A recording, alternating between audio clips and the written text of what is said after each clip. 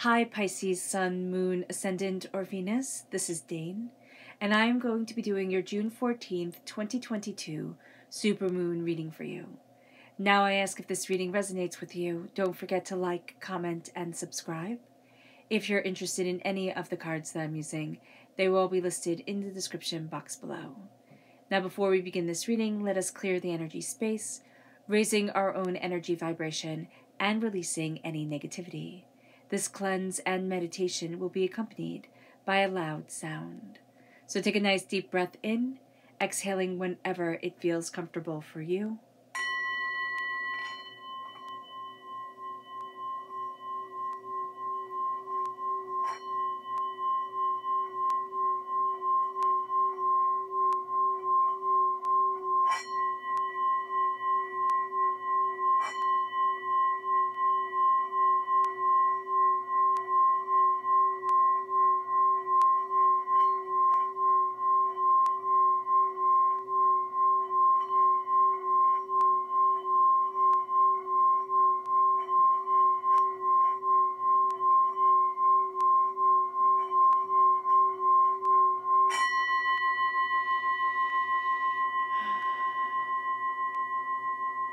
Releasing all negativity from the body like storm clouds. Letting yourself feel calm, centered, and at peace as we enter into this safe and loving space. So let's see, Pisces, the energy we should be mindful of. Angels and spirit guides show me clearly. Guide this reading and show me clearly, angels and spirit guides. So we have the star, which is interesting. Okay. And why this is so interesting is because this supermoon is in Sagittarius, but the energy that comes forward really powerfully during this time and even a few days before is that our dreams become more real than reality. So when we have the star coming forward, this is what we wish for. This is what we want. This is what we deeply desire.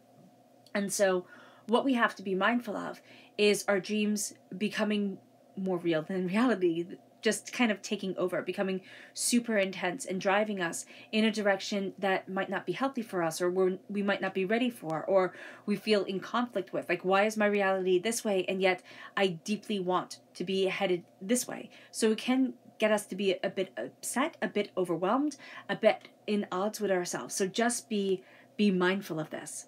Okay, this is also Aquarius energy. So if you're born on the cusp with Aquarius or you have Aquarius energy in your chart, I highly suggest you you watch the Aquarius you know video. It has a huge message in it that anybody who has Aquarius in their chart should definitely be mindful of. All right, definitely be made aware of. So let's look at our chakra energy. Angels and spirit guides show me clearly. Guide this reading and show me clearly. This is determination. This is the solar plexus chakra. Our gut is really leading us, and there is an energy here with with the salmon of rebirth, but also of determination. I am headed to where I want to be. I am going to where I need to be for me to be reborn, to change, to to grow, to become. And that's going to be really important. We have gut feels about things. We have to listen to them. We definitely have to listen to them during this moon and during this time. So let's see what the moon has to say for herself. Angels and spirit guides show me clearly. Guide this reading. And show me clearly, angels and spirit guides. Angels and spirit guides show me clearly. Guide this reading. And show me clearly, angels and spirit guides. Angels and spirit guides show me clearly. Guide this reading and show me clearly. Angels and spirit guides. Angels and spirit guides. Okay, so let's see what the cards have to say.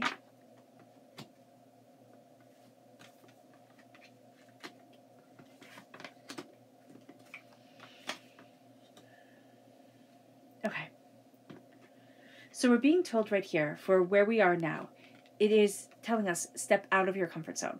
This is going to be a time of challenge. This is the determination. This is the, you know, driving force to move us forward. Step out of your comfort zone.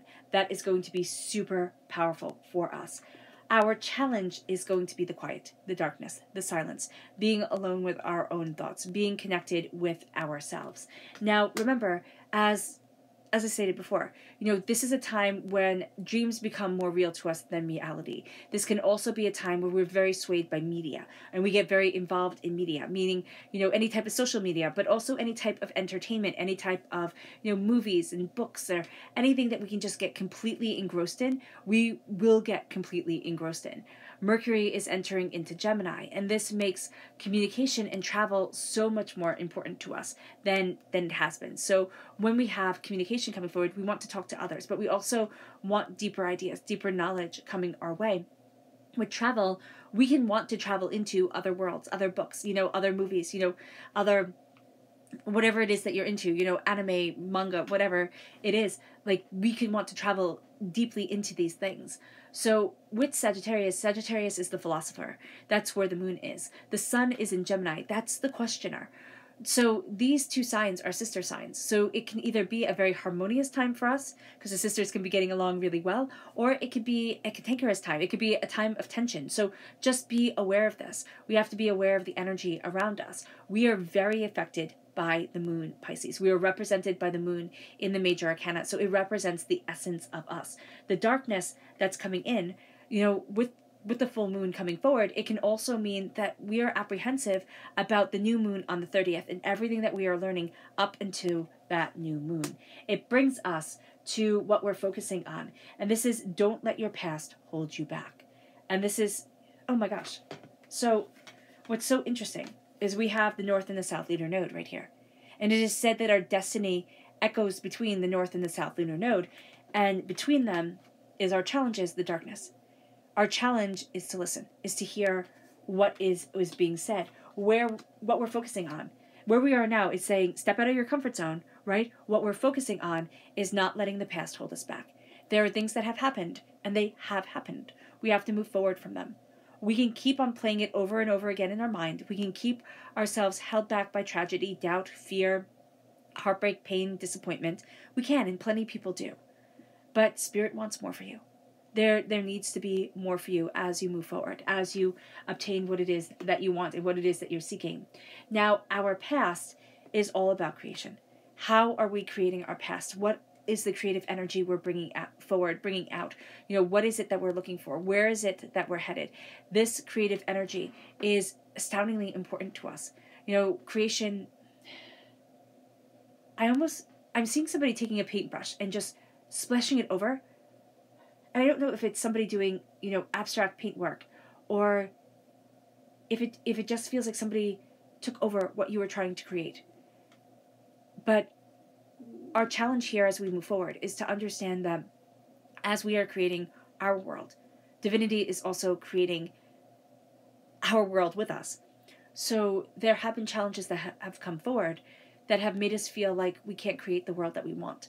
Stop being so hard on yourself. Stop giving up on yourself. Don't be so hell bent on one way of achieving goals. There are numerous, numerous ways. So the past comes in and it's all about creation. And it's the power of your creative mind. It's the power of the force of your creative will there's there's been so much that you've been learning. Even if you're you're thinking well you know i'm a mathematician i'm a scientist you know i'm not creative in that in that way. You are creative. And this time what you have been living through everyone every every single pisces what you have been living through is is giving you an insight that you you need whether you wanted to live through it or not. It's having you see things in a way that it's like oh oh that breaks down that wall or oh that that moves past that barrier. It moves us to our strength, which is to look at the big picture. No, it is to take aim. It says here, luck is on your side. It's time to take aim. The full moon in Sagittarius says, look at the bigger picture. This is the new moon in Sagittarius. So the Sagittarius energy is very powerful here. And there's a sense of luck is on your side. Like there there's just I don't know if you have a tendency to say, "Oh, I'm not lucky," and people look at you and they're like, "Pisces, are you kidding me?"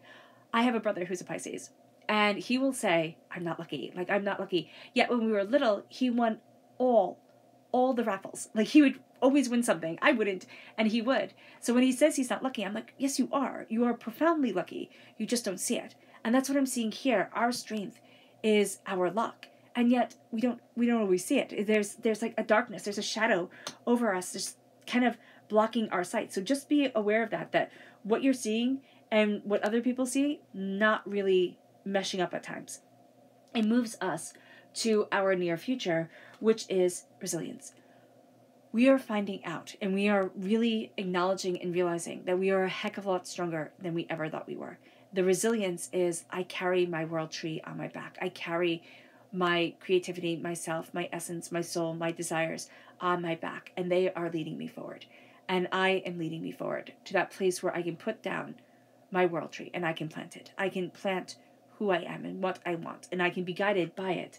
It moves us to our suggested approach, which is work through your fear.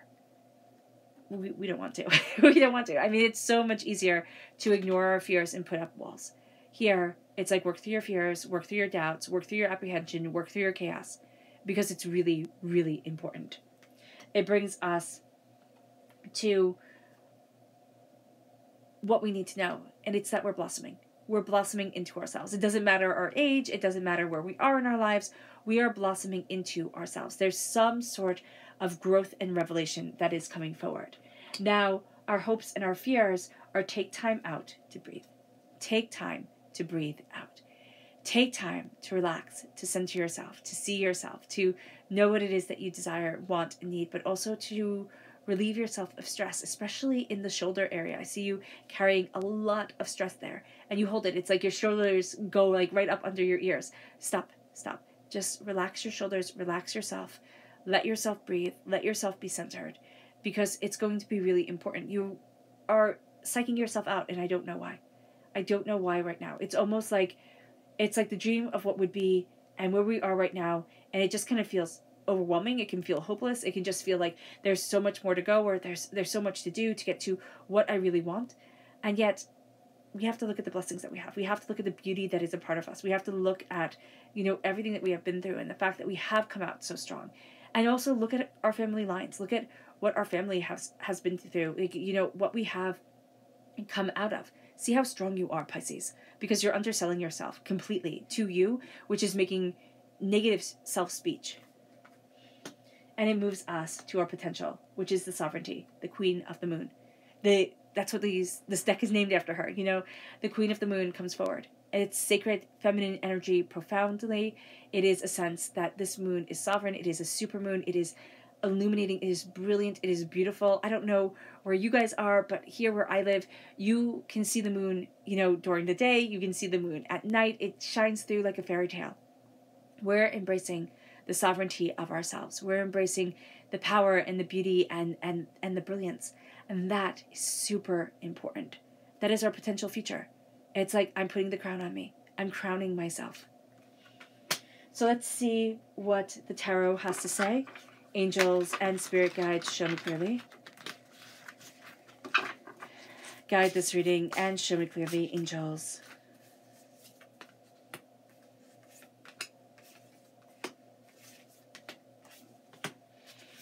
And spirit guides, angels. And spirit guides, show me clearly.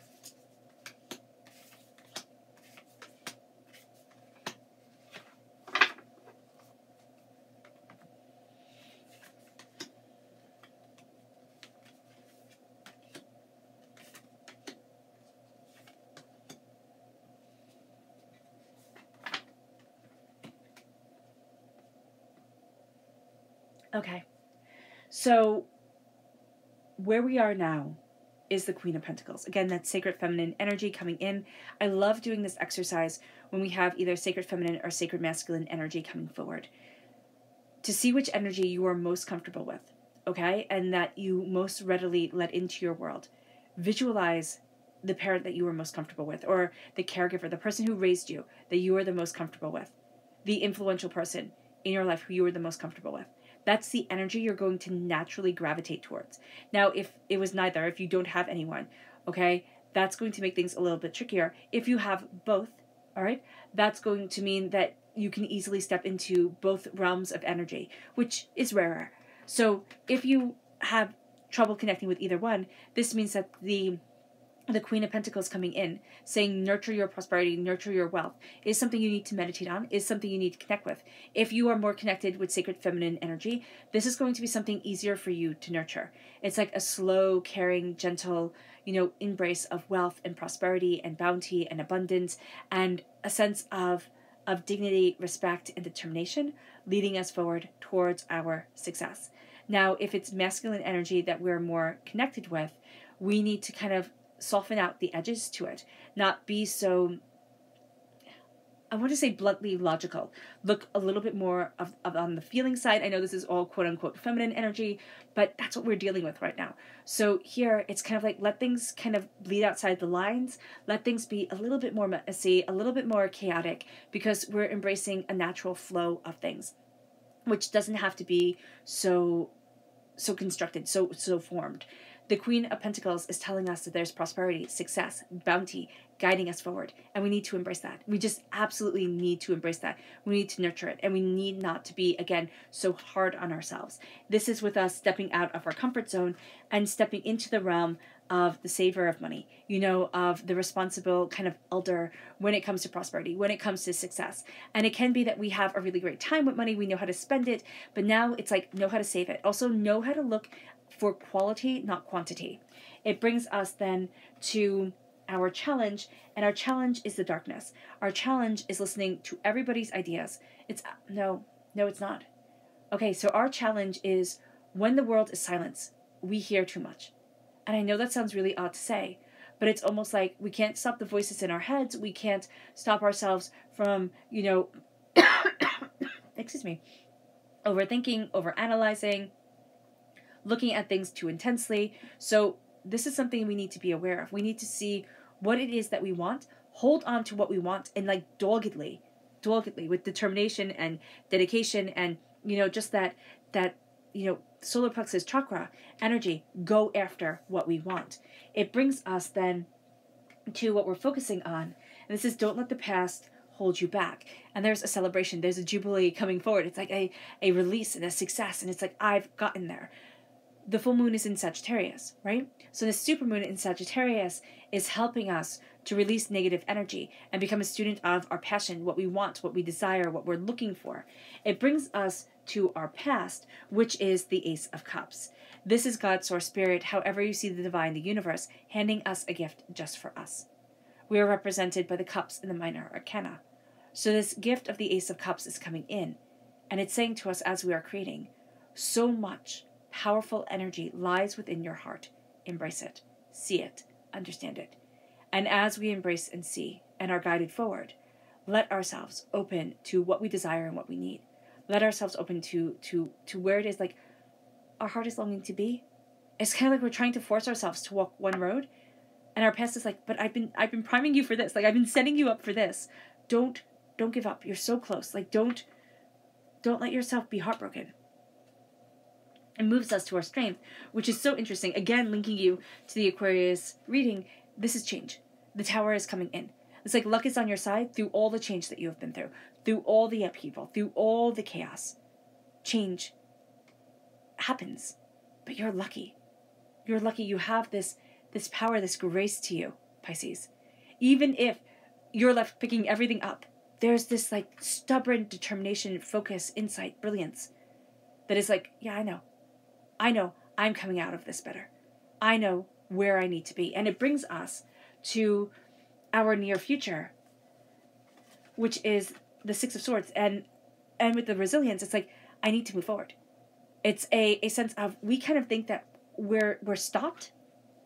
And it's like, no, you're going to be surprised at what what you've been building for or building towards you are going to be surprised at the way things are moving and and the change that things take. It moves us then to our suggested approach, which is Scorpio energy. Oh, that's so funny because this is the new moon in Scorpio. The death card is the dying away of the old self, the rebirth of the new. And it says, you know, work through your fears. We are going to be being reborn from our fears, from our doubts, from our chaos. And there's a real sense of I didn't even know I had the strength within me. It brings us to our blossoming with the Six of Cups. Excuse me. This is this is the past has made us who we are. We've been trying to outrun it. We've been trying to change it. We've been trying to see things differently. It's like, mm the past has made you who you are, Pisces. Wear it with pride. Be proud. It brings us to our subconscious, not our subconscious, it brings us to our hopes and our fears. We hope that we can shine with that magic, that we can be the queen of wands, that we can embrace the Sagittarius supermoon energy and just radiate. But we need time to breathe out. We need time to connect with ourselves. And that breathing out is connecting with our own magic, is seeing ourselves for who we truly are, where we want to be, where we need to be. And that starts to move us forward in a very different way. But again, we need to embrace the sacred feminine energy with the Queen of Pentacles here at like where we are now with the Queen of Wands. This is saying we need to embrace reality. And remember, dreams are going to be more real to us than reality. We're ruled by Neptune. Neptune rules dreams. So it's going to be so easy to let the dreams just take over. So just be very aware of this. That Spirit is telling us be be here, be now, be present. We hope to be present, to, to shine, to have this glory. We fear that it's always passing us by, that we're always just missing it. With the sovereignty of the moon and our potential future, it's the Ten of Pentacles prosperity, success, abundance. Coming to the completion of a cycle when it comes to money and and seeing where it is that we need to be, seeing what it is that we desire, seeing what it is that we want, and embracing that abundance, embracing that success. All right. Let's look at our chakra energy. Not, not our chakra energy. I love it. At our subconscious energy. So we have discernment, the full moon, surrender to the divine. Be discerning as you surrender to the divine. Be discerning as you see the spiritual energy that you need, you see the spiritual power of yourself, and you surrender to where it is that you need to be, to how it is that you need to move forward, to what connects with you, to who you are. It brings us to our subconscious tarot message, which is the Nine of Pentacles prosperity, success, abundance, being in the moment, really seeing us. Not what anybody wants us to be, not what we dream we will one day be, but celebrating who we are and being in the moment with that as we open ourselves up, as we're guided forward, as we're, you know, just taking in us and all that we have accomplished, even if we don't think we've accomplished anything. Pisces, this is saying you have. Stop being so hard on yourself. Our subconscious energy to be mindful of is the high priestess. Not, not the high priestess, the high priest. This is Taurus energy. This is determined, stubborn drive. This can be somebody who makes us feel small. This can be somebody who, you know, who's trying to tell us to fit into something that isn't us. But this can also be us trying to fit into something that doesn't work. Whenever I see this this energy that comes forward, where it's like we're trying to fit ourselves into something that's wrong, it's the Cinderella story and the stepsisters, but it's the original where they cut off either the front half of their foot or the back half of their foot. So here it's like, don't, don't, don't do something so foolish okay, that will scar you, that will hurt you, because you're trying to fit into something that just was never meant to fit in the first place. You know, it was never meant to be you. And sometimes that's really hard to come to terms with. But sometimes we're meant for a very different road than either what, you know, our parents wanted us to go down or our caregivers or even what we thought success looked like going down. And if we open ourselves to that road, it's like, oh, okay. It's scary, yeah, but it's like, oh, okay. And we'll we'll miss mess up along the way. We'll misstep, but it's like, give yourself a chance. Our subconscious chakra energy is angels and masters. This is the the soul star chakra located six inches above your crown. You're lucky. You know, it said here, luck is on your side. This is your angels wrapping you in their wings. This is you being connected and being just absolutely protected. So acknowledge that. Take that in. Take that in and just know that you are profoundly, profoundly blessed during this time. All right, all right, Taurus. No, all right, Taurus. All right, Pisces. Let's end this reading with a meditation, a clearing away of negative energy, a raising of our positive energy as we embrace the power, intensity, and beauty of this supermoon and as we like just drink in its energy. So let's take a nice deep breath in, exhaling whenever it feels comfortable for you.